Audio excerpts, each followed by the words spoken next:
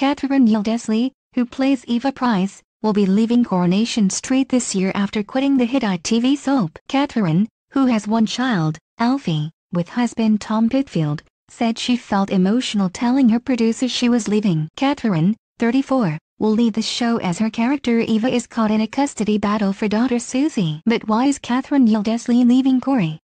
Here's what she said, moving on with her career Catherine has revealed the main reason she's moving on from Coronation Street is to work on other acting projects. Speaking to OK!